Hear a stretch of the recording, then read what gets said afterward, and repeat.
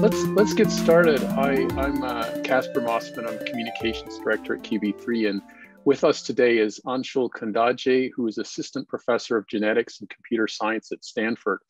Um, and uh, Dr. Kundaje's primary research area is large-scale computational regulatory genomics. Um, and I was earlier joking to him about how uh, people call uh, call his field junk DNA. So I guess we're going to hear about exactly what that entails, uh, junk DNA. Uh, the human genome containing about 3 billion or more base pairs, um, but only 2% of that is actual genes. Um, so what is the rest? And uh, in short, a lot of it is this regulatory mechanism to control gene activity, but it's uh, unknown exactly how this happens in each cell type, um, what the elements are, what their sequences are, and especially for human health, how this is connected to disease and well, normal health health functioning. So, uh, Dr. Kundaje, it's great to have you. Uh, what can you tell us about deep learning and genomic discovery? Yeah, absolutely. Um, uh, I'm, you know, I'm I'm joined between the departments of genetics and computer science, and we have been um, exploring this interface for several years now. And uh, biology has become a very uh, actually a, a very data-driven area now. So there's huge amounts of data being generated by high throughput um, assays. And so it's, it's, it's extremely ripe for uh, large scale machine learning approaches. Um, but you know, typically when you think of uh, uh, particularly deep learning, you think of it as this very powerful hammer for prediction, right? Like it's, it's these black box prediction tasks. Here I'm going to turn this on its head and show you how these same models can act as amazing discovery engines. You can use them to actually discover entirely new insights about the genome. So um, should I get started? Yeah, please share your slides if you would. okay, so um, yeah, thanks again so much for the kind invitation. And uh, it's, it's really great to be here today, um, hopefully in person sometime. Um, so my the title of my talk, as I mentioned before, is, is deep learning for genomic discovery. And I will slowly walk you through the entire um, through the entire talk, first sort of motivating the biology, uh, and then trying to get to how we can use machine learning to decipher novel insights about the genome. Um, so I'll start with, you know, what happened about uh, 20 years ago. Um, the Human Genome Project completed its first draft sequence in 2003. That was a decades long project. And we obtained, um, uh, for the first time, uh, some view of the sequence of the genome, which is uh, basically we now know about 3 billion uh, nucleotides or letters. Uh, it's a four letter alphabet, A, C, G, and T. What's amazing is that even though the in 2003, the draft sequence was obtained, um, the um, first complete human genome, right, end to end, also known as telomere to telomere, actually happened last week. So there's a publication last week in Science, um, an entire series of publications where for the first time, we actually know the entire sequence. And it's amazing. They, they discovered 99 new genes, which we didn't know existed before uh, in repetitive regions that were very difficult to sequence previously. So we're constantly making new discoveries. Uh, by we, I mean the field is making new discoveries about, about the genome, right? So going back here, you know, in 2003, uh, we had the draft sequence of the genome. and um, this was like, like one genome sequence for all of humanity, right? But as we know, uh, humans are very diverse. Um, you know, we have amazing diversity in, in various kinds of, uh, you know, physical traits and so forth and also disease susceptibility, right? Like all of us don't have, I mean, some of us are more susceptible or have higher risk for diseases than others. And this is all encoded, um, a large part of this is encoded in our DNA. And um, the genomes of no two individuals are identical. So except for maybe identical twins, if you look at any, um, any pair of individuals, any group of individuals, uh, there are positions in the genome uh, where the sequence is not identical, right? So there are mismatches and insertions and deletions. And that really gives rise to this beautiful genetic diversity across individuals that manifests as uh, various kinds of traits. And in some cases, unfortunately, also makes us uh, increases our risk for specific diseases, right? So um, it's very clear that cataloging genetic variation is an essential first step to understanding the genetic and molecular basis of disease, right? And also understanding the genetic basis of just natural variation in various traits, human traits. Um, so what has happened is since 2003, there has been a revolution in sequencing technology. The machines have gotten uh, smaller, like you, know, you can see a USB-sized um, sequencing device. Um, it literally is a USB device. Uh, you can stream, you know, DNA sequences right into into a computer. Uh, but not only has the size dropped, but uh, you know, similar to the semiconductor revolution, there has been a, a dramatic drop in the cost of sequencing and hence a tremendous increase in throughput. Um, and so now you don't have one sequence for all of humanity. You actually can sequence uh, personal genomes, genomes of individuals, right? And so there have been large-scale population sequencing efforts that have sequenced, you know, eh, hundreds and thousands to millions of individuals.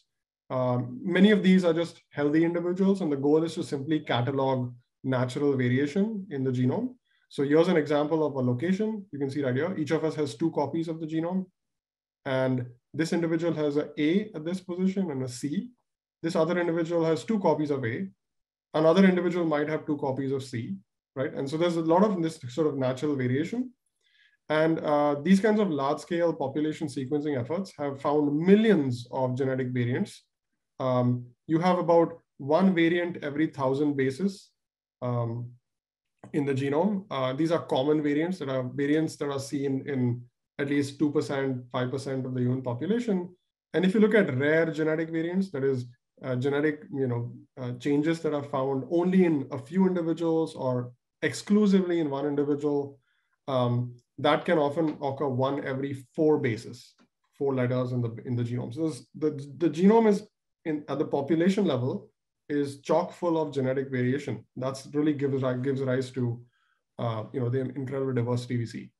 The same strategy can be used to study genetic basis of disease as well, because you not only sequence a bunch of healthy controls, right, but you can sequence a bunch of uh, individuals that have a specific disease. And so you can actually conduct case control uh, studies. Uh, these are often called genome-wide association studies, and here the idea is again that you sequence a bunch of uh, disease individuals, you sequence a, a bunch of well-matched controls, and then you can perform statistical tests that literally are simply at each genomic position where the variant lies. Um, you can perform a statistical test, which will simply, uh, you know, um, collate the number of individuals that have uh, one specific combination of these letters against other combinations. And if you see a, a strong imbalance between the healthy individuals and the disease individuals, that can be picked up as a strong statistical association, right? So that can that might indicate that individuals that have you know a specific version of this variant uh, might be at higher risk for the disease. So that's called an association study. Okay, and this has been very successful and has been used to study thousands of uh, diverse traits and diseases. Okay. So this is what one of these association studies looks like. Uh, on the x-axis is the whole genome, 3 billion bases. Uh, each of these segments is our different chromosomes. We have uh, 22 pairs of, uh, um, of autosomes and, and you know, sex chromosomes. Um, so this is the whole genome. And each point in this plot is a genetic variant, okay? There are millions of them. And the y-axis is, is the uh, statistical significance of association. So the the stronger the statistical significance, the stronger the association or the confidence in the association. And you can see most genetic variants kind of have low associations with, in this case, Alzheimer's disease. So this is a case control study of Alzheimer's disease. But then you see these huge towers, right? These, these collections of variants that really pop out. This is referred to as a Manhattan plot because it looks like the skyline of Manhattan. And these, these huge, you know, these, these spikes that you see right here, these are all genetic variants that have strong associations with Alzheimer's disease. So these, these genetic variants might be predisposing individuals to this disease, okay? So this has been a very popular approach and it's been allowing us to map locations and positions and variants in the genome that potentially uh, are associated causally with disease risk. Um, but uh, this doesn't tell the whole story because like, okay, now I've identified this genetic variant right here, you know, this letter A, if an individual has a C instead of an A, they might have an association with Alzheimer's. Uh, but that's just a catalog. I don't know what these letters, what these variants are actually doing, right? So I need to, uh, we need to be able to go in and actually understand the function of these of these variants. And we talk about variants, why not go to other kinds of subsequences? Like there's this word right here, CCA, What does it do? Um, so we need a functional annotation of the human genome, and that's where we come in. We really focus on functional genomics and decoding genome function. We want to understand what every letter in the in the genome does or does not do, every word in the genome what it does does or does not do in a molecular um, in a molecular fashion, right? Now, what makes genome interpretation or functional interpretation of the genome complicated is that we are not unicellular organisms. We are multicellular organisms, and we have thousands of diverse cell types and tissues in our body. And if you take an individual, that individual has the same genome in all the cell types. So it's the same instruction set, but it's giving rise to, again, this amazing diversity of cell types and function and morphology. How is that happening? So let's, to understand that, we need to analyze the genome in the context of different cell types, cell states, and cellular responses because the same instruction set, but giving rise to different, completely different phenotypes. And the reason is because, um, as you know, if you're given a collection of instructions, you can put them together in different combinations. And the different, if you have a universal instruction set, if you select different combinations of instructions, you can give rise to different programs. So each cell is like a different program, okay? And it's using the same global instruction set written in the genome, but using different parts of it in different combinations. And so to understand how that works, I need to go into the genome and now at least give you an overview of the main sort of functional components of the genome. So here's the cell, and here's the DNA packed inside the cell. And let's un unwrap it. So I'm showing you a zoomed in version of this. Um, one of the main functional units in the genome are genes right? Everybody knows about genes. Genes are pieces of the DNA sequence that directly code for proteins. Um, you can literally read them, the letters on the gene, and they get translated exactly. You know, they have a mapping from um, the ACGTs in the gene to the amino acids in the protein. So that's that's the classic genetic code. It literally is an instruction set, right? It's copied and, and you can make proteins out of genes. So genes code for proteins. But then what makes cells different is there are about 26,000 genes in the genome, and um, different combinations of genes are expressing different combinations of proteins in different cell types. And it's the specific repertoire of proteins that are produced that define the functional state of each cell. That's what makes a neuron different from a muscle cell, is the repertoire of proteins that are expressed. So different genes are turned on and off, right? And that really defines cell identity. If you mess with this program that turns genes on and off, you're going to get weird cell states, which can essentially result in pretty serious disorders, right? But if you think about like you're turning genes on and off, you need control switches. You need, you know, on-off switches to turn genes on and off. And where is that encoded? Well, that is encoded in the rest of the genome. So the pieces of the of the genome that encode for proteins directly is just 2% of the 3 billion letters. So the 98%, what is it actually doing? Well, most of it is not doing anything particularly useful, but it does contain the instruction set for the control elements that turn genes on and off. And they happen to be these little pieces of DNA. I'll just call them control elements to avoid jargon. And these are like on-off switches. They are, again, segments of DNA sequence. And uh, their job is to encode, they encode information that allows genes to be turned on and off, right? So we know where most of the genes are now in the genome, but these control elements have been quite elusive because they're scattered all over the place in the remaining 98%, and they're pretty sparse. It's not like the 98% is full of these control elements. These are sparse elements.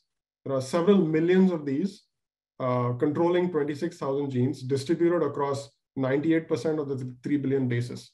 So how do we map these? How do we find out where they are?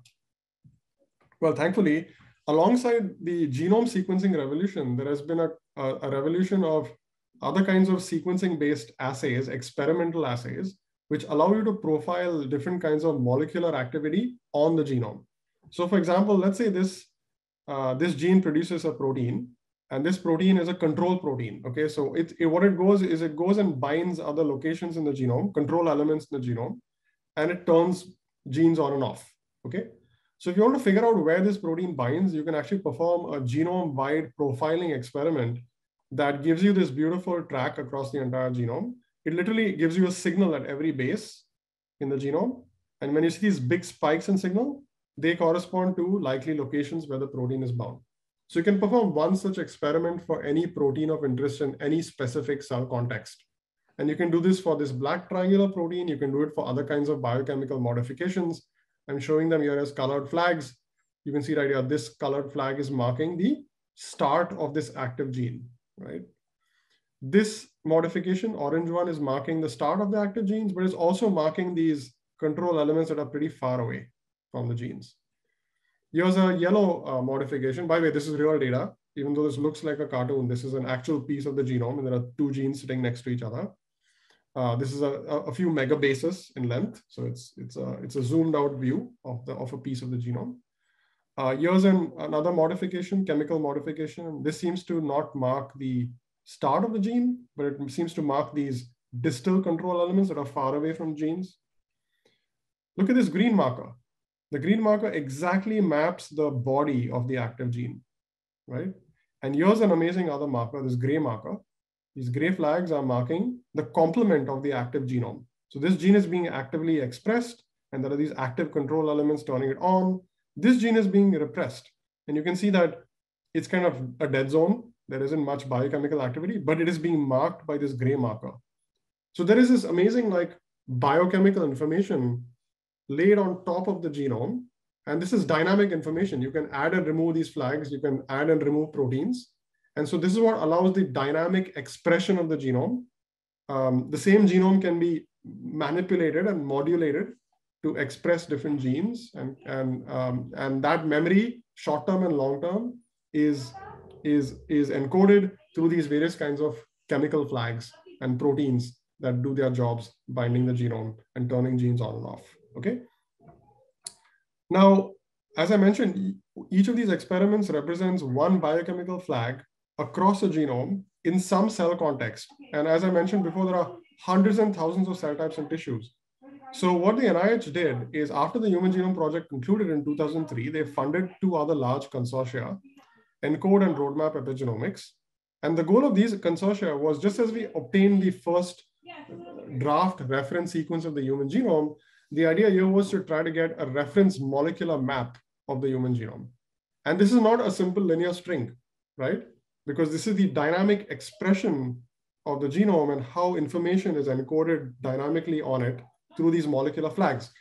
And so this happens to be a cube of information. It's not a string, it's not a vector, it's actually a, a cube or a tensor.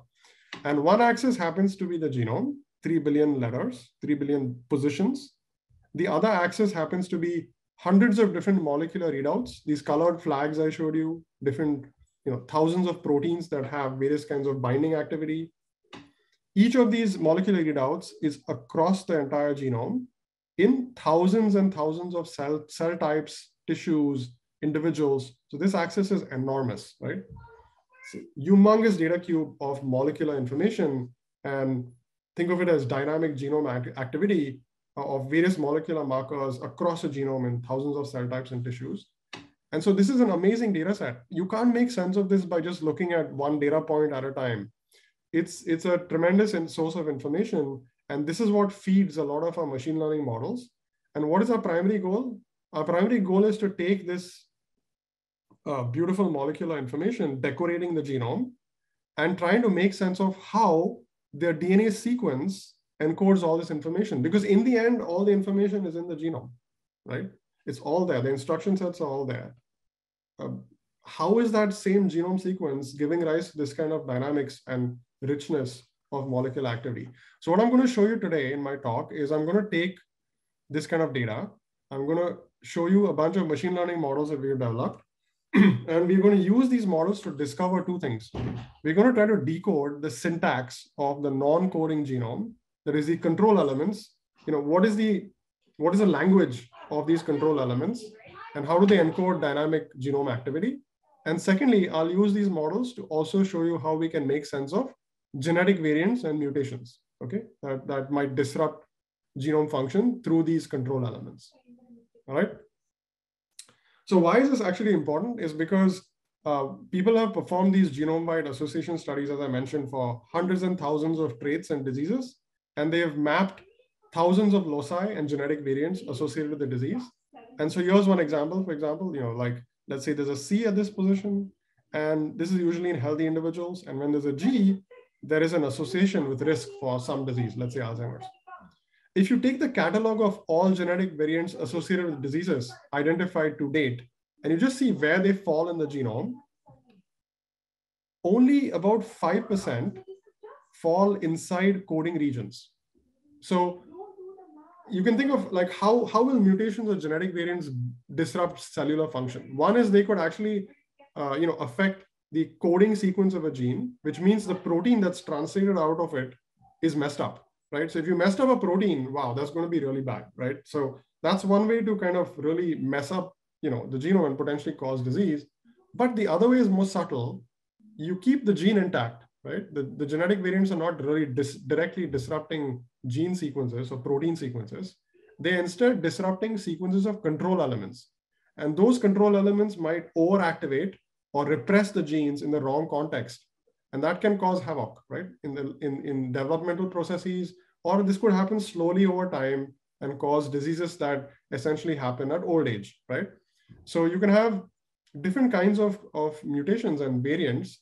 And what's amazing is that 95%, this yellow block of genetic variants associated diseases are primarily non-coding. They are, they are likely or they enriched in these control elements. That's why studying the control elements and dissecting their syntax and grammar and trying to understand how mutations in the sequence manifest in changes in the activity of these control elements is very, very important because it not only is a basic biology question of how the genome functions, but it will also give us insights into 95% of disease variants, okay? All right, so part one, let's jump into decoding genome syntax. And here we're going to focus on very basic biology of how these proteins that I mentioned to you, these control proteins, how do they regulate gene activity uh, by binding these control elements and doing interesting things. Um, so let's again open up this anatomy sketch of the genome. And now let's take a control element and look inside it. So what are these control elements doing and how are they turning genes on and off? Well, what's actually happening is the sequence of these control elements have evolved to contain specific DNA words, as shown right here. They're fuzzy DNA words. Uh, they're, as you can see, they're not exact. Like you can see, there's a the height of the letters corresponds to kind of like the preference. Um, and these DNA words act as landing pads for proteins. Okay, these are control proteins, regulatory proteins, and they recognize specific DNA words as not just random words placed you know in some sequence. There's actually beautiful syntax and grammar just like in a language. Um, but it's fuzzy and it's a different kind of language. And evolution has played with this so that you know the information encoded in these elements is is these sequence recognition codes these words that are recognized by proteins and you can see how this can actually give rise to a very complex combinatorial control system because you have, let's say, 6,000 proteins. Each of them recognizes you know, fuzzy words with different affinity. And you can put together now complexes of proteins. You can take these 6,000 proteins and you can take pairs and triplets and four of them and five of them and create complexes. And each of these complexes will recognize different sequence sequences, right? You, you can encode incredible precision and specificity by coupling proteins and their recognition codes. And the genomes have evolved uh, to have this really beautiful syntax. And that's how you can activate an element in one specific cell type in the body because it has this combination of a specific set of proteins that only get expressed in that cell type. And the sequence acts as a landing pad for those specific proteins. And that, you know, these proteins bind the DNA and then these elements loop in three dimensions to the start of the gene. And then they turn the gene on and they transcribe it. All right. So Deciphering this genome syntax is really coming down to identifying all of these words, the fundamental vocabulary, the lexicon of these, these DNA binding proteins, and the complex combinatorial syntax that gives rise to the, you know, the combinatorial specificity of these groups of proteins and how they bind the genome in different cell types and contexts and how they regulate different genes, okay? So as I mentioned before, how do we dissect the syntax? Well, thankfully, as I mentioned, um, we have experimental approaches to actually measure or at least capture shadows of these proteins. So for example, this protein, let's say it binds this, this piece of DNA. How do we measure this? Well, we can perform a sequencing experiment that can actually almost take a snapshot of the shadow of this protein. So imagine this protein binds this location, right? It creates like a, like imagine you threw uh, threw a pebble in in in a in a lake. It creates waves, right? So you know it, it kind of blocks the DNA at this stage, and, and you can perform a sequencing experiment where you can capture sort of a virtual shadow of the protein. Okay, so here's an example of the shadow of this protein, this spike on this side of the DNA, this spike on the other side of the DNA. And you can imagine this doing this across the entire genome. So wherever you see these spikes, they represent the shadows of the proteins, and you can get a beautiful genome-wide readout of where the protein binds, right? So here's another kind of experiment that is a different kind of enzyme, and that also gives you a different kind of shadow. But think of it as using sequencing, uh, genome sequencing as almost like a molecular camera, and you're taking snapshots of the genome uh, across the entire genome. You can look at these shadows of proteins and the precise shapes of these shadows and the precise profiles of these shadows really capture exquisite information about the protein DNA contacts, okay? And so we can use this data to now reverse engineer how the protein might be recognizing DNA because it's not recognize, it's not binding all over the genome, it's binding at specific positions in specific cell states. So here's one such example. Uh, this is data generated by the ENCODE consortium. Each row here corresponds to a specific protein. And each of them, you can see these beautiful spiky signals. They're representing combinatorial binding of these repertoire of proteins in one cell type in a specific region of the genome. So you can see right here, this protein, this one, and this one bind together. At this location is this one, this one, this one. And you can see it's quantitative. It's not binary, right? You actually have quantitative signal. In some cases, you bind really strongly. In other cases, you bind weak, right? So it's a continuum of binding. So you have these beautiful protein DNA binding experiments and our goal is to now use this, this sort of uh, information to try to decipher the underlying syntax. And by that, I mean the words, the lexicon, as well as uh, you know, rules of preferential spacing, arrangement, combinations, and how all of that drives cooperative binding of these proteins. All right, so now let's move into the machine learning uh, front of this. We now have data. How do we make sense of this data? So we can transform this data into a very classical machine learning task. Uh, so we're going to take this data and we're going to use it uh, to formulate a machine learning problem. And the, the formulation is as follows. Uh, I performed some experiment and I got a readout across the genome. Every base in the genome is assigned a signal from the experiment telling you the likelihood that the protein is binding that location. It's a quantitative signal that has beautiful shapes and spans as I, showed you before. And what you can do is you can take the entire genome, uh, 3 billion bases, you can chunk them into little bins, let's say 100 base pairs, right? 100, 100 letters, uh, contiguous bins across the genome. And now every, each of these bins has a sequence, and that sequence is now associated with a molecular readout. So what you can do is you can set up a classic machine learning problem, which is a supervised problem of having some inputs, in this case sequences, trying to learn a mathematical function that takes these sequences and learns to map them to some kind of quantitative readout from the experiment, right? So the experiment gives you labels across the entire genome. And then you have millions of bins of sequence and their corresponding labels from the experiment. These labels could be binary, right? Like it's a bound, unbound, or it could be quantitative, which will tell you the actual signal and the shape and the strength of the signal. So it's a classical, you know, supervised machine learning problem going from sequence inputs to labels. You're trying to learn this function FFS. Classic ML, right? You can apply any machine learning model to this thing and you try to learn this mapping function. What we've done is we've used deep learning models to try to solve this problem. what deep neural networks do is why they're amazing is not just because they're very powerful, one of their unique um, you know superpowers is their ability to engineer complex features uh, de novo from raw data so you know when you're given a sequence you don't know how to exactly represent it like should i represent it as as you know um, a bag of words Uh, if, if I'm representing it as a bag of words, should it be words of size three, four, five, 10? I don't know, right? So instead, a neural network can just take the raw DNA sequence, okay? And the neurons in the neural network are pattern detectors. Their goal is to try to learn elemental patterns in the sequence. And the lower layers learn simple patterns, and the higher layers of the network combine these simple patterns to make more complex patterns. And by stacking more and more layers of neurons, you can create um, arbitrarily complex models that can learn um, very, very complex patterns and syntax and grammars, and then act as transducers to take these sequences and transform them into these profiles coming out of the experiment. Think of it like a text to speech converter, right? The input is text, the output is speech. In this case, the, the text is the genome, and the speech is this spiky signal coming out of a sequencing experiment. So it's very analogous, right? And the neural network is learning these features de novo from the, from the, from the genome, and is trying to translate or transduce this genome sequence into uh, experimental profile. So you can train this, this model across the entire genome. As I mentioned before, there are 3 billion base pairs. So there's lots and lots of information from a single experiment. And these kinds of models, we've, we've, we've uh, recently published these last year, BPNet.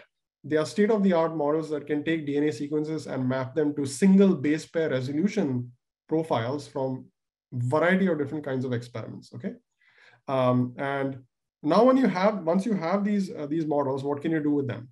Well, they act like abstractions of the entire experiment. You learn to take the experiment and you projected it onto the genome. You know how to convert the sequence now to a profile. If the model is able to do that very accurately, it must have learned biology, right? Otherwise, how is it able to do it? It must have learned the biology of the underlying information, the syntax encoded in the genome. That's the only possibility. Um, well, or it could have overfitted or some other technical issue. But let's assume that the models are great and they've actually learned something useful uh, we might be able to use them to discover biology. The patterns that the neural network is learning um, could give us really cool insights into uh, the underlying genome syntax. But neural networks are typically thought of as black box models, right? Like we cannot can't understand what's going on inside. They're just like powerful predictors. Well, I'll show you that's not the case. And over the years, we've developed actually many tools to try to open up this black box. One of the tools is very simple. What it does is it once you train a model, once you learn the parameters of this model and it is learned to accurately predict profiles from sequences, you can take the model and you can invert it on its head and you can take any prediction from the model and you can backtrack through the neurons all the way down to individual bases in the sequence and get a contribution score of every base in the sequence to the output profile. So it tells you like, what is the contribution of every base in that sequence to the output profile? So the first thing I'll say is, I'll show you how we make use of this to understand syntax.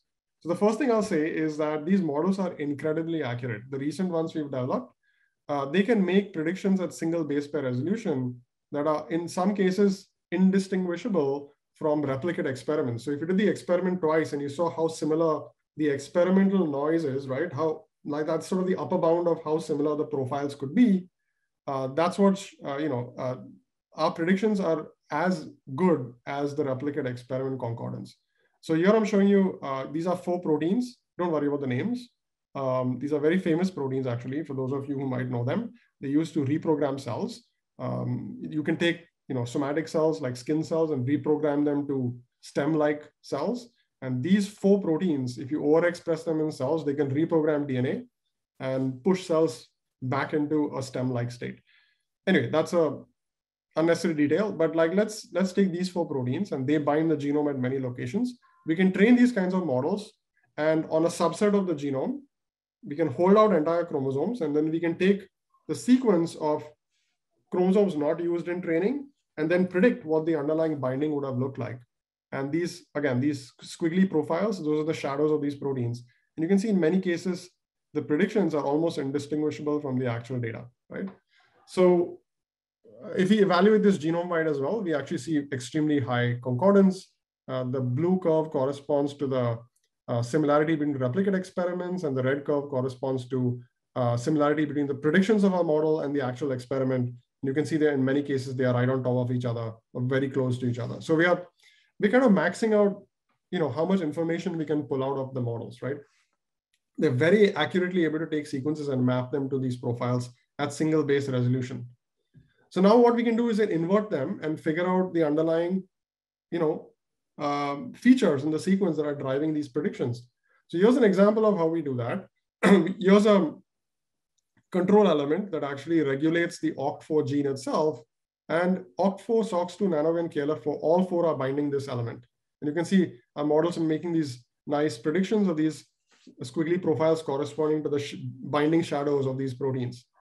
As I mentioned, we can take each of these predictions from the model and we can reverse engineer which bases in the sequence are driving each of these profiles. So there's one model for each protein, and we're taking the same sequence and interpreting that same sequence in the context of models for four different proteins. Now imagine doing this for 6,000 proteins and hundreds of cell types and tissues.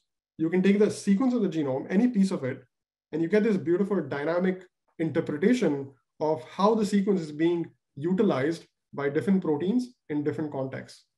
And so here's an example you can see right here. You see this, these letters really pop up. So there's this DNA word, which is very important for binding for all four proteins. This DNA word is specifically important uh, for this protein this DNA word right here is very important for this protein. And you can see the combinatorial logic starting to kick in, right? There's one recognition code for like this protein OCT4 that is important for all four proteins, but then there are specific other recognition codes for other proteins and the combination of these words in a specific syntax arrangement gives rise to the beautiful binding profiles of these four proteins, right? And we can map these to DNA words. So we can get a very high resolution context specific annotation of which bases in the genome are actually driving all of these binding profiles. So that's great. This is, a, this is the way we can actually decipher words in the genome. Now I mentioned about syntax. Now what we can do is we can play games with the model. It's a very accurate model. We can use it like an in silico oracle, and we can do all kinds of perturbation experiments in the computer, right? So there are two types of perturbation experiments I will show you. One is using synthetic sequences. So we can take sequences, we can take random DNA, we can push it through the model. The model should predict nothing, right? Just a flat line, nothing's happening. We can insert an interesting DNA word that we discovered in the genome. We can insert another DNA word, and we can, for example, change the spacing between them, right? And for each of these spacings, we can push that through the model, and the model will predict how the binding of different proteins would change as a function of spacing between these two words, right? This is a way to do it in a very marginalized synthetic setting where you're controlling for very specific properties, right? In this case, the spacing between two words, right? You can also do it in the genome. The genome is very complex. It has all these combinations, a lot of overloading of information, but you can do a mutation experiment where you discover words, as I showed you in the previous slide. You take an actual genomic control element, use a model to discover the words, and you systematically make mutations. You mutate this word, you mutate this one, you mutate this one, you mutate combinations, and you again use a model to predict what would happen if you made these mutations.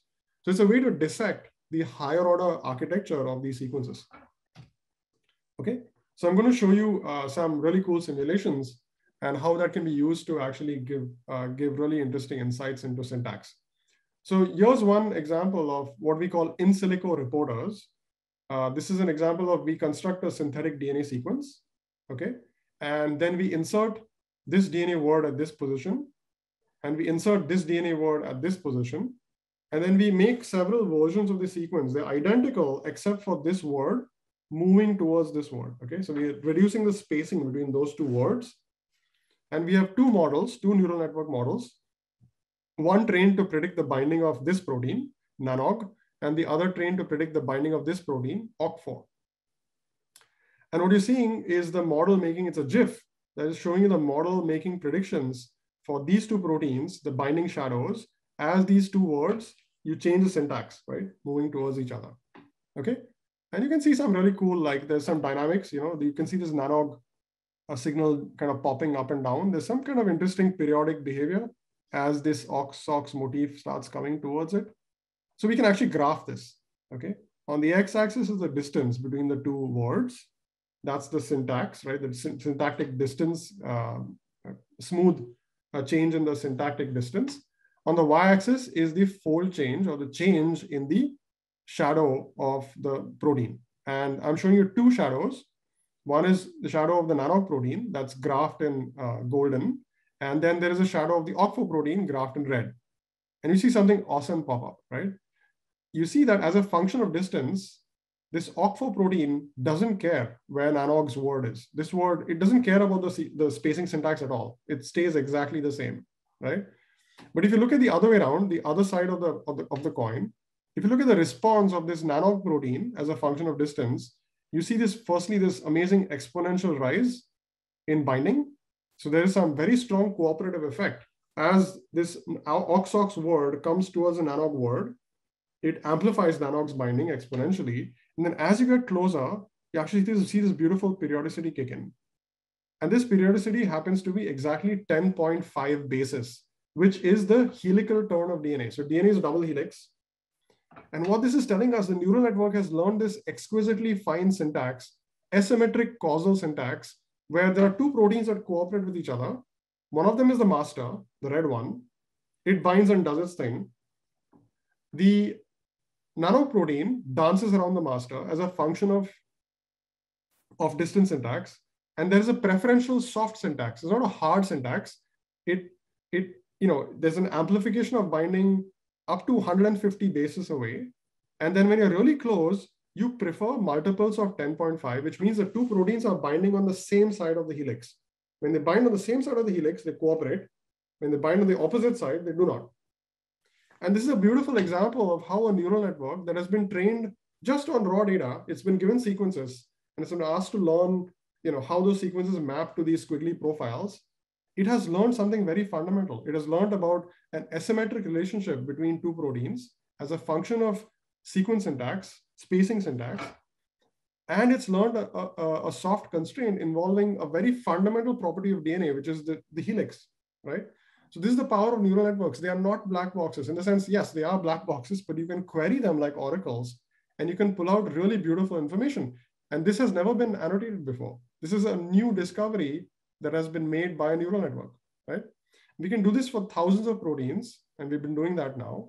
And what's also exciting is we can repeat the same experiment, not just in synthetic DNA, but in actual genomic sequences. So here's a, uh, a control element that is bound by OCT4 and nanog. As I showed you before, there's this DNA word that's recognized by OCT4, and this DNA word, this combination of DNA words is recognized by nanog. So we can mutate this DNA word. And you can see the model predicts OCT4 binding dies and nanog binding dies. So this word is very important for binding of both proteins. We can mutate this word, and you can see again, the OCT4 protein doesn't care at all. The nanog protein gets hit pretty bad. Even though nanog binds this, you know, this, this, this specific word, even though we deleted its word, it can still be indirectly recruited by this other protein, okay? And if we perform this kind of mutation experiment across the entire genome and we average it out, we again pick up this beautiful asymmetric cooperativity, right? Where the red protein is the king, it does its thing, and this golden protein, the nanog protein, depends on OCT4 in an asymmetric fashion. There is a distance dependent syntax and the neural network once again tells us that there is a beautiful helical periodicity, right? So this is really cool. I mean, we have been able to discover all kinds of really novel syntax through the lens of the neural network. And then we can use this syntax to, to design actual genome editing experiments, not just stop at predictions, but we can now design the next set of experiments to validate this biology. So we can go into the lab. Um, our collaborator, Julia Zeitlinger, has done these beautiful experiments where we actually go into real control elements in cells and we make mutations using CRISPR. So here's an example of what the model predicts would happen. Here's the DNA word that's bound by the SOX2 protein.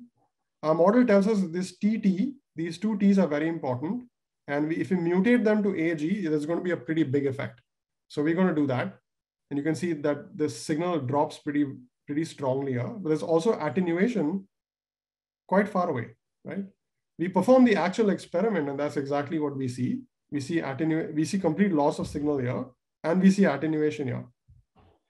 So this is breaking this DNA word on the binding of SOX2. We can then um, break the same word, but now measure the binding of the other protein, nanog. And again, you see this amazing uh, correspondence between the predictions of the model and the experiment itself. we can invert this and we can break another word nearby, the nanog word. And here again, you see a local effect. And then we can break this nanog word and, and measure the effect on SOX2 binding, and you see no effect. This goes back to the asymmetric relationship that we had predicted before, right? So we can use the models now as, um, as oracles. We can make thousands of millions of predictions. We can highlight and identify specific ones that are really good candidates for testing in actual CRISPR experiments, and we can perform the experiments to decipher syntax. All right. So that's the first part of the talk. And in the next about five minutes, I'll try to conclude and give you a view of how we can use this to decipher genetic variation.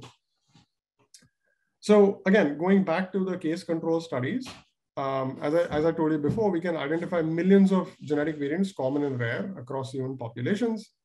So how do we use the models to study what these variants are doing? Well, we can again use the models as oracles.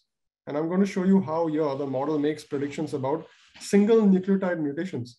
So here's a piece of the genome. It's a control element in a specific cell type. Um, you know, healthy individuals have a C at this position, okay?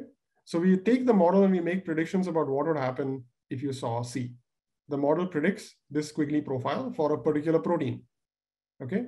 Now what we do is we swap the C to a G, we keep the rest of the sequence the same, and we again push the sequence to the model and the model predicts what would happen. And you can see the model predicts that if you swap the C to a G, you get this dramatic amplification of binding of this protein, right? So we can do this for thousands of variants. We can just push them through the model and we can actually measure, we can predict what the effect of that mutation would be. But we don't have to stop there. We can actually use a model as a lens to understand what is this mutation actually doing. So here's what it's doing. We can use our interpretation tool to try to derive the contribution scores of individual bases in the sequence for the sequence containing the C and the sequence containing the G. And you can see the neural network tells us an awesome story. It tells us that when the C is present in the sequence, uh, there's this DNA word which is weakly driving binding of the protein. When you swap the C to a G, it creates this really strong DNA word. And these two DNA words together cooperate to dramatically amplify binding of this protein. So now we have a very specific, you know, molecular mechanism through which the mutation is working, right? So I'll show you how we do this for Alzheimer's disease. Remember I showed you this Manhattan plot? So there are thousands of variants in the genome uh, hundreds of variants in the genome associated with Alzheimer's. What are these variants doing? Well, uh, we can actually use um, our, our, models. Uh, we can actually get molecular profiling data from the adult human brain. Uh, we can actually get this at single cell resolution. Uh, so we can actually take all the cells in the brain, we can segregate them, we can perform molecular profiling at single cell resolution. Here you can see, for example, each row here is a different cell from the brain. And each, um, the x-axis here is, is a piece of the genome. And for each cell, you get a readout corresponding to whether that region is you know, active or not, or is bound by a protein or not. And so we are, we are getting this sort of information at single cell resolution. we can take all of this data across the entire genome, uh, millions of cells, um, or tens of thousands of cells across the entire genome. And what we can do is we can compute similarities between the cells in this activity space, right? Imagine you take each cell and you compute the similarity of the vectors of this, act, of this genomic activity from the experiment. And so we can get cell-cell similarities and we can cluster the cells together into groups that have very similar molecular profiles. And the amazing thing is we can discover all the cell types in the brain completely de novo computationally. So here's an example of a two-dimensional sort of embedding of all the cells. Each, each point here is a cell. And you can see cells cluster together. These are all microglia. These are different kinds of oligodendrocytes. These are inhibitory neurons. These are nigral neurons. So we can kind of de novo, de novo take an entire adult human brain. We can perform these experiments at single cell resolution. We can discover the cell types and we can then obtain cell type specific molecular maps of genomic activity, right? So we get this, and then what we do is we train neural networks on each of these experiments okay, like I showed you before. The sequence mapping neural networks, they take each of these experiments and, and they try to figure out how the DNA sequence is predictive of these profiles. And then we can take all these mutations in the Alzheimer's disease experiment, the case control experiment, we can propagate it through each of these models. And each of those uh, models will tell us what this variant might be doing, which of them have big effects, which of them have small effects uh, in different cell types, in all of the 40 to 50 different brain uh, cell types. And we can interpret the models to understand what these mutations might be actually disrupting. So I'll show you one cool quick case study. Here's a locus in the genome that is associated with Alzheimer's disease from the case control study. There's a gene right here called PICALM, okay?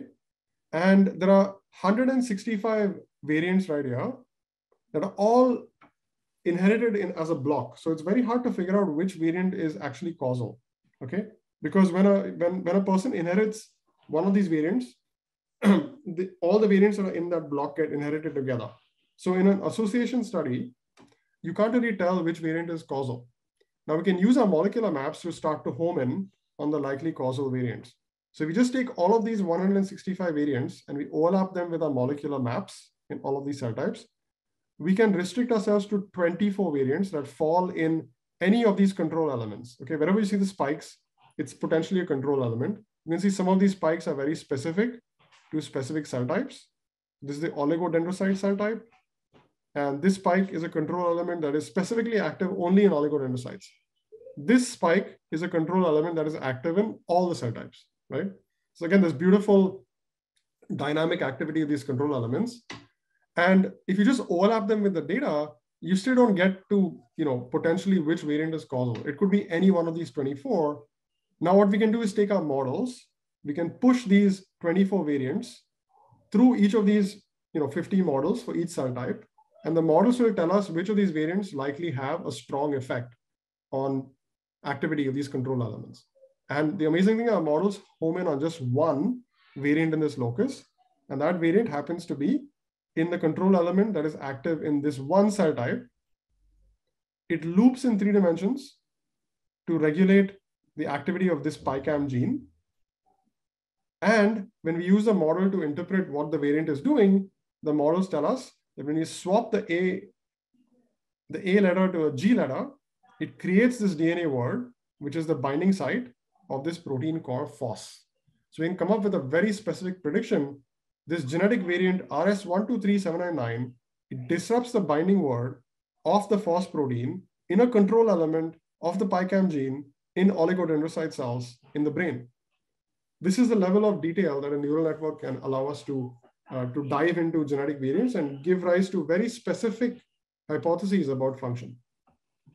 Okay, so I'll stop there. I, I don't have, I think we're out of time. So I just wanted to say quickly that we don't have to do this only for common diseases. We can also do it for rare diseases. Like we've taken de novo mutations in autism, and we've again performed these kinds of single cell, you know, molecular profiling experiments in developing human fetal cortex. And we can take de novo mutations in these patients uh, and actually try to decipher which one of them is functional. We can make beautiful predictions, like I showed you before, creation of this DNA word when the mutation occurs. We can go to congenital heart disease, and we can again look at uh, molecular profiling data from human fetal hearts, very, very early development. We can fit our models to all this data, and then we can make exquisite predictions about which mutations in these children suffering from congenital heart disease might be causal. We can get to actual DNA words, proteins that bind them, likely target genes, and the cell type of action. Okay. And more recently, we've actually performed CRISPR-Cas9 experiments in vitro in, in, in cells, and we've validated many of these mutations. So it's really nice. And neural networks are acting like oracles, allowing us to home in on very specific mechanisms and design sequences to get deeper insights into uh, um, you know, genomic syntax and disease variants. All right. So with that, I'll just conclude and say, I hope I showed you that a large-scale molecular profiling data allows you to decipher genome function. Neural networks can map DNA sequences to molecular profiles with profiles with unprecedented accuracy. The models are not uninterpretable black boxes. You can actually query them like oracles to decipher functional DNA letters, words, syntax. You can decipher effects of disease mutations and the underlying biology.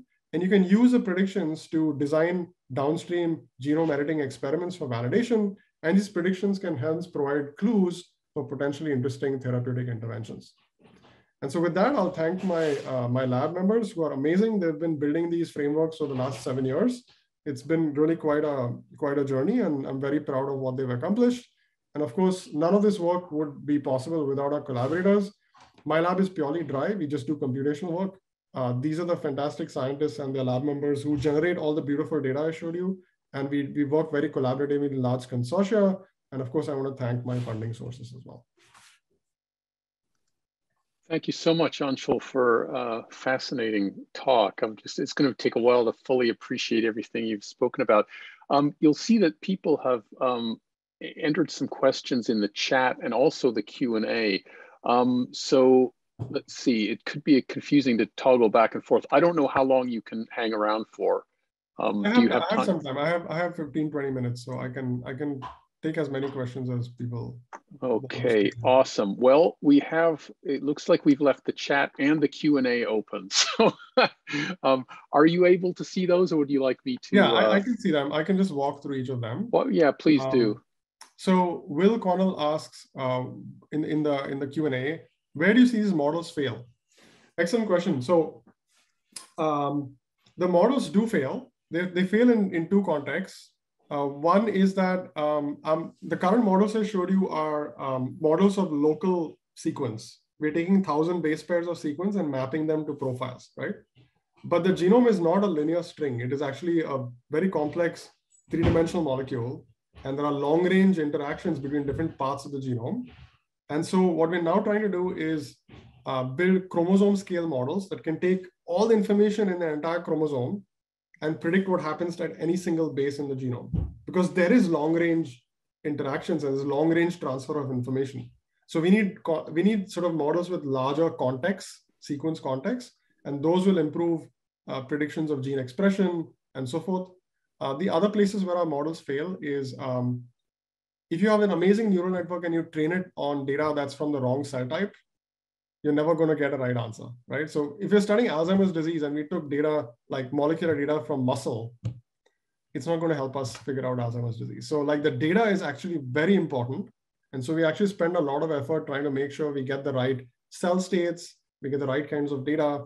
And it, that's another point of failure. That is, if we don't have a good match between the disease, the cell state, and the model, your models can make some random predictions, which are going to be completely nonsensical and not going to work. Okay, so that's the sort of one, uh, one mode of failure. I take the next question, which is from, uh, I hope I get your name right, uh, Onu. Uh, it says, uh, would be great to hear your thoughts on the best ways to crowdsource predictive models for genomics. Oh, thanks for asking that question. I skipped a slide. Uh, so we've actually tried to do this. We've tried to democratize this entire effort. So we've built one of the first model zoos for genomics. It's called Kipoi, kipoi.org. And we are basically openly sharing, not just us, but the entire community. It's a community effort.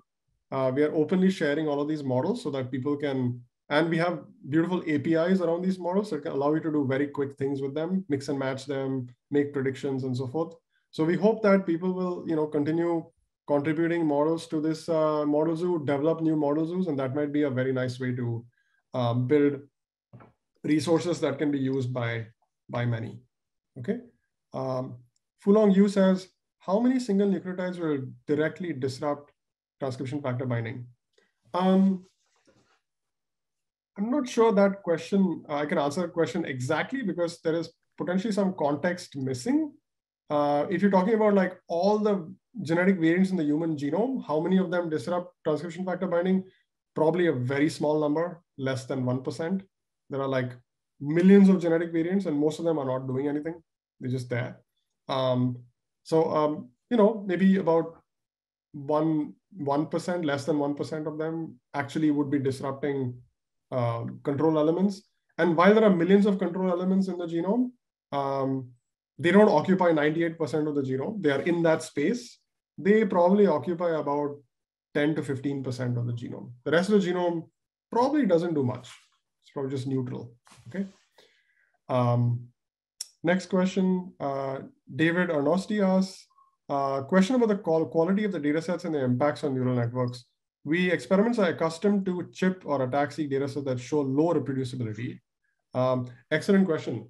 So um, what David's asking is, how dependent are your models? Uh, how dependent are your models on the quality of the data? I don't have I don't have slides to show you today because um, I try to keep the talk slightly high level. But one of the advantages of modeling the data in a quantitative way at single, single base resolution is that you make the models quite immune to some biases in labeling when you're working with data sets of very different quality. So for example, uh, people often used to take this data and binarize them, high signal, low signal. And what can happen there is if you have low quality data, then your sensitivity is low. And so you have much fewer so-called high signal regions. And you're going to mislabel several regions that actually have high signal as low signal just because your, your, your experiment has a low signal to noise ratio, right? And that's going to mess up your neural network because a neural network is going to take the labels and think of them as ground truth. And if your experiment is, is sort of having label noise, that can be very problematic. So we directly model the data at single base resolution, uh, the quantitative data that's coming out. And I can't, I don't have the, you know, the slide here, but we've shown that you can take high quality data sets and you can corrupt them. You can train the models on the corrupted data and you can make predictions. And the predictions actually, you know, because they're learning from sequence, they can fill in the gaps and they can impute missing information to the level of high quality data sets. So we have nice benchmarks where we've done artificial corruption of the, of the data, train models, and seen that they can actually, you know, denoise and impute missing information. And that's how we've been able to train this on single cell data, which is very sparse, very noisy, still works out very well, okay? So um, of course, data quality matters, but these models are much less uh, dependent on the artifacts of data processing and data quality than previous generation models, okay? Uh, Xing Tang asks, have you tried to train a model with mouse data? Oh, that's such a good question. I don't have I didn't have enough time and space to show you slides, but we have some really beautiful uh, recent results where we've trained these models on single cell data in mouse models. So we've been trying to study coronary artery disease, and we would love to like look at coronary tissue, um, you know, in in the presence of a high fat diet. Now, of, of course, you cannot do this in a human, we're not going to feed humans high fat and then sacrifice them and get their aortas, but we can do this, do this for mice. So we actually have a mouse model that one of our collaborators has been using to feed them high fat diets. We can extract coronary arteries for them. You can do these kinds of single cell experiments. We've trained models in the mouse. And the beauty of these models is they just take sequence and they make predictions. So even though the model has been trained in mice, we've transferred them over to humans and we use them to score genetic variants associated with coronary artery disease. And we're seeing really amazing results. And in this case, we have human data and mouse data, and they agree very nicely with each other. So even cross-species transfer of models is feasible, not in all cases, but in many cases. Okay, we at least have evidence of that. Next question. Do you think the affinity of a TF for a certain nucleotide at a position is independent of the nucleotides it's binding in nearby positions? Um, so I want to distinguish between affinity and occupancy. Uh, affinity is really a property of the underlying sequence. And you know, that is what it is. The transcription factor has affinity to the sequence, right? But you can modulate its occupancy based on other proteins nearby. So effectively, you can change its affinity to the overall sequence by having other sequences nearby. So the example I showed you uh, with the OCT4 and NANOG is a great example where you know you have two motifs right next to each other. And as you change the spacing between them, it can change how the proteins bind, right? Their occupancy and the effective affinity of the overall sequence. So this is pervasive. This is not like a, you know, one-off example I gave you. We see extensive examples of like cooperativity driven by the underlying sequence syntax. So it's not, it's not that each, each base acts independently. There's lots of complex interaction effects between bases, between DNA words, as a function of soft spacing. And that's not just local, it can also occur long range. So you can have a control element like a megabase away from a gene, and it can affect the activity of a gene very far away. And you can have tens of these control elements acting additively or super additively or multiplicatively, right? So there's very complex nonlinear effects and complex interactions happening, okay? Uh, next question, how do we normalize input data in chromatin-based measurements, say single cell ATAC-seq? How do we take care of batch effects, GC content, etc.? Very good question. Um, how do we normalize the data? uh, we do not normalize the data. And the reason is because, uh, let me finish my sentence because it's very important to account for normalization biases, but we do not normalize the data. We literally fit to the read counts that you get from the sequencing experiment on the genome. And the reason is because the classical approach has been to first normalize the data, correct for batch effects, correct for various things, and then fit a machine learning model. The problem is when you do that, you can overcorrect or you can undercorrect.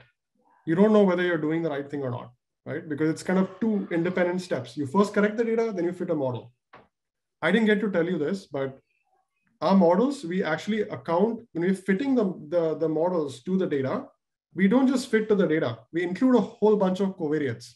For example, if you're looking at single cell ATAC-seq data, we include the TN5 enzyme bias. So we have a bias track, and the bias track is added as a covariate. We can add GC content as a covariate. We can add batches as a covariate.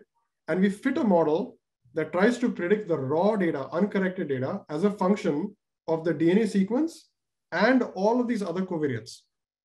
The model learns how to do it optimally. So we don't have to pre-correct it. We correct it on the fly. And we find that to be a much, much more effective approach. It's a more intricate approach, but really allows us to avoid overcorrection or undercorrection. And the machine learning models are powerful enough to be able to do this de novo. Okay, so that's our approach. Uh, next question is by Xing Tang. Um, larger context need larger training data. Could you explain how chromosome level context models are doable? Good question. Um, larger context doesn't necessarily need larger data. Um, if you think about like, you know, uh, a text to speech converter, or in this case, a, a, convolutional neural network that's going from sequence to profiles, uh, depending on the number of layers you add, this is a little bit technical, but depending on the number of layers you add, you can increase or decrease, or how you design the architecture of the model, you can increase or decrease what's called the receptive field. And by receptive field, what I mean is, you know, for any output position, uh, how much of the sequences it effectively sees, okay? So if you have very few layers, it might just see 100 base pairs. If you have, you know, um, if you do various kinds of pooling operations or you have dilated convolutions or use a transformer model or some such other architecture, you can increase the receptive field of the model, right? So it's still training on 3 billion you know, observations across the genome. So it's a lot of data. Um, and your architecture choices you make can allow you to increase or de decrease the receptive field.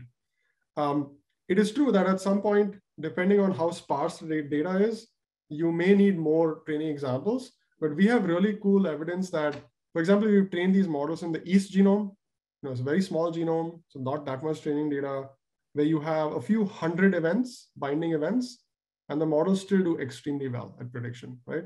So it appears that even though the genome syntax is very complex, um, by leveraging the data at single base resolution and the quantitative nature of it, these models can be made to operate and fit the data quite well, even in low, low data settings, okay?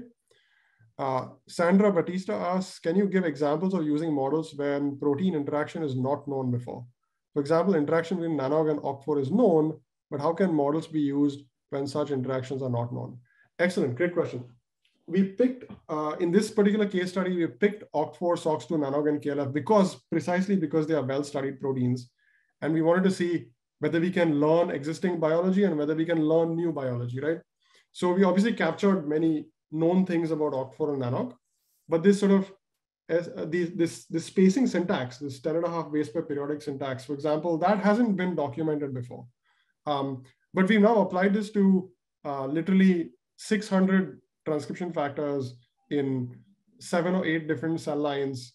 Um, and we are picking up all kinds of beautiful novel discoveries because we don't have to, you know, we don't, we can just pick any pair of proteins and we can do this kind of syntax analysis and see what the models tell us.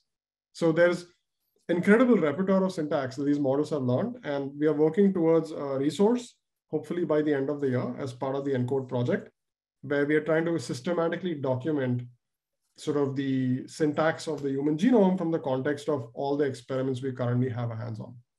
Okay. So that's the questions in the Q&A. And let's see, in the chat. Uh, I, think, I think the people from the chat came over to the Q&A. oh, great. Okay. Okay, excellent.